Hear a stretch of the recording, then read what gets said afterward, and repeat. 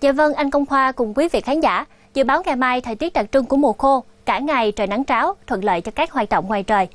Buổi sáng ở Cần Thơ, trời xe lạnh với mức nhiệt là 23 độ, nắng lên nhưng mà thời tiết thì không quá nóng, nhiệt độ cao nhất trong ngày 32 độ.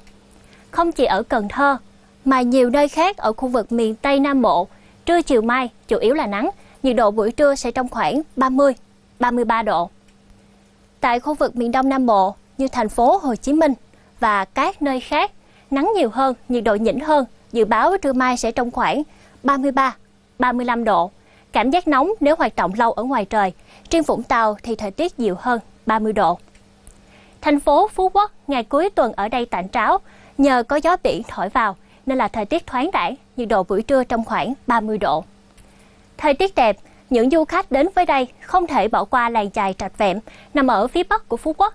Nơi đây vẫn còn nét đẹp hoang sơ, du khách có thể tận hưởng không gian yên bình và khám phá văn hóa bản địa. Chuyển sang thông tin dự báo thời tiết trên biển, vùng biển từ Cà Mau cho tới Kiên Giang, thời tiết đẹp, gió không quá cấp 4, tầm nhìn xa trên 10 km. Trái lại, gió đông bắc đang hoạt động ở vùng biển Bình Thuận cho tới Cà Mau đang mạnh lên. Chiều tối mai, gió mạnh lên cấp 6, giật cấp 7, biển động.